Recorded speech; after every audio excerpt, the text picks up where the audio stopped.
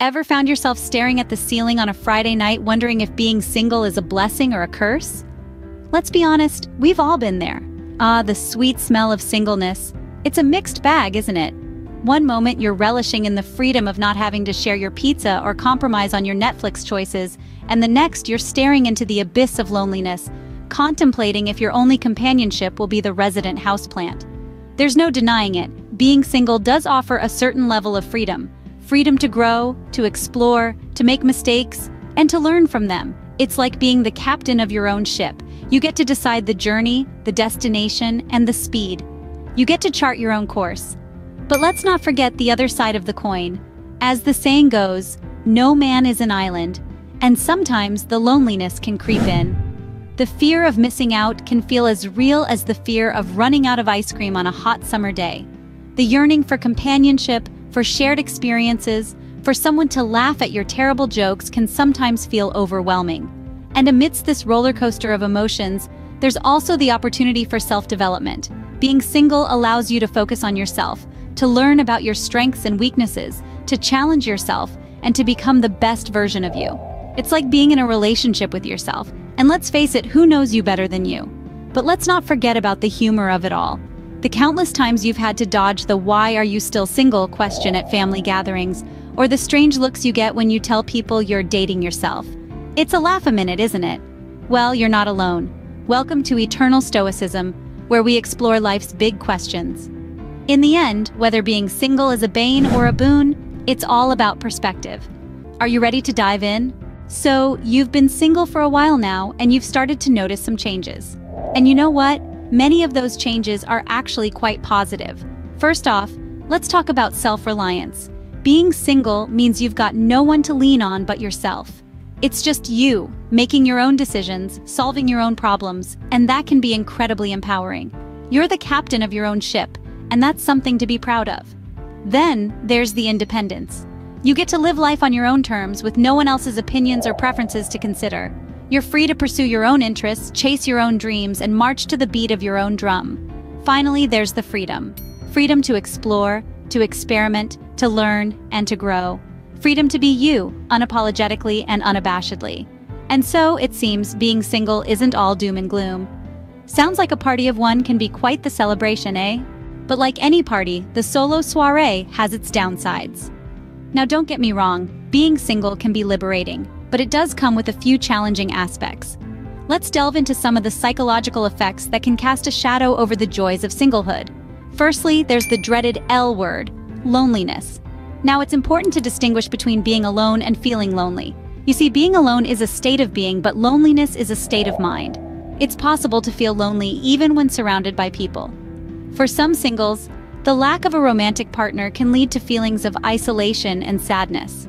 It's like being at a party where everyone else has a dance partner, and you're left on the sidelines.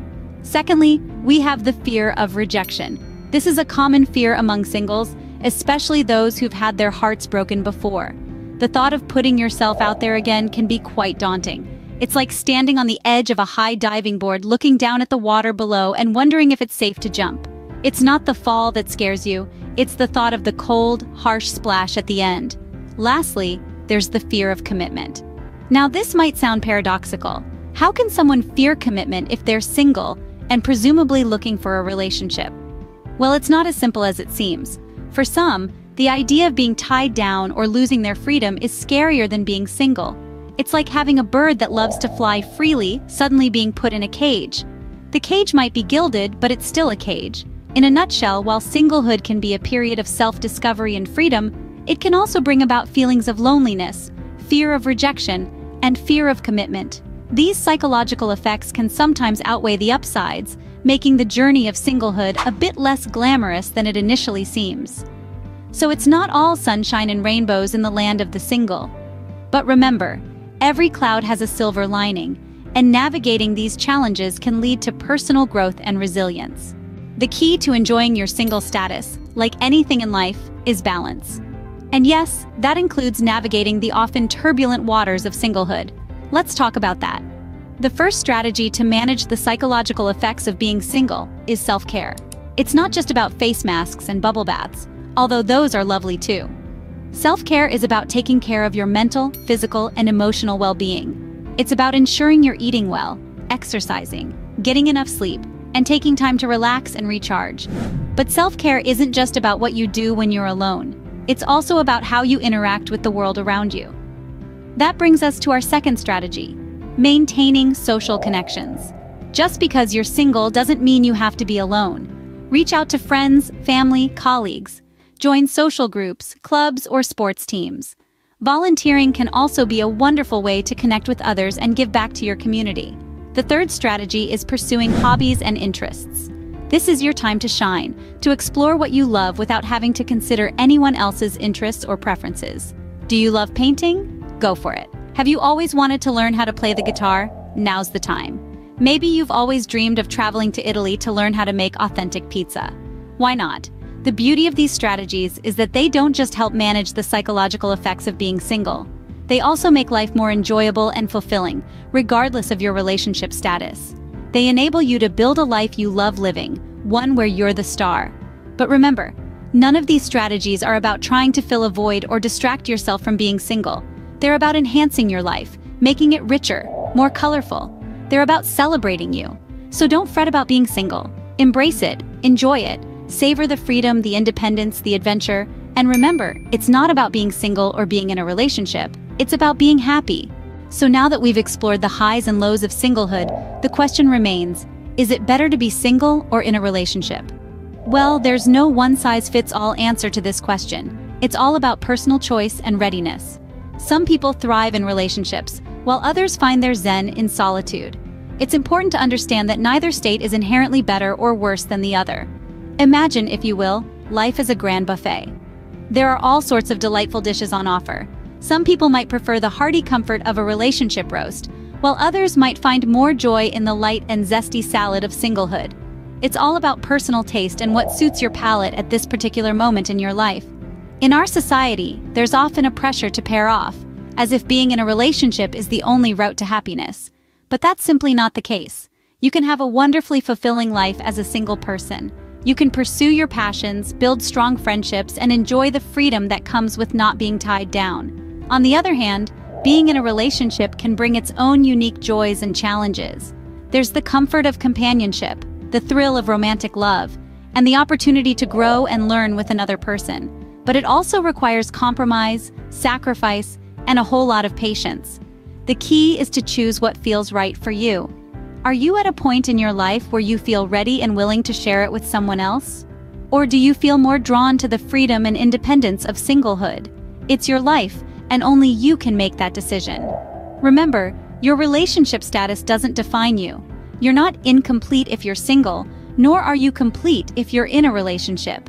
You are a whole valuable person, just as you are. In the end, it's not about what society expects, but what makes you feel fulfilled. So I ask you, are you content with where you are right now? Are you happy being single, or are you ready for the commitment of a loving relationship? Before we wrap up, Let's take a moment to reflect on what we've learned. Today, we've embarked on a journey, exploring the intricate psychological effects of being single for extended periods. We've seen that being single can be both a bane and a boon, depending on one's perspective and approach to life. We've delved into the upside of being single, the freedom it affords, the self-discovery it encourages, and the personal growth it nurtures. We've also taken a deep dive into the downside, the potential loneliness, the societal pressure, and the fear of missing out that can sometimes accompany a single life. We've navigated the turbulent waters of singlehood, discussing strategies to cope with its challenges and to harness its benefits. We've explored the importance of balance, self-care, and maintaining healthy relationships with others, even when we're not romantically involved. And we've tackled the million-dollar question, to be single or not to be single.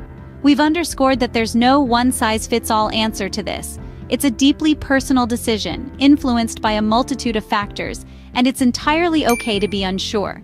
What's crucial, though, is that we prioritize our personal happiness and fulfillment regardless of our relationship status. We must remember that our worth is not defined by whether we have a partner or not, but by our character, our actions, and our contribution to the world. Being single can be a time of profound growth and self-discovery. It can also be a time of loneliness and self-doubt. But whether we choose to remain single or to pursue a relationship, it's essential that we do so with a clear understanding of our needs, our desires, and our capacity for love and commitment. So tell us, are you happy being single, or are you ready for the commitment of a loving relationship? Don't forget to like and subscribe to Eternal Stoicism for more thought-provoking content like this. Until next time, stay strong, stay stoic.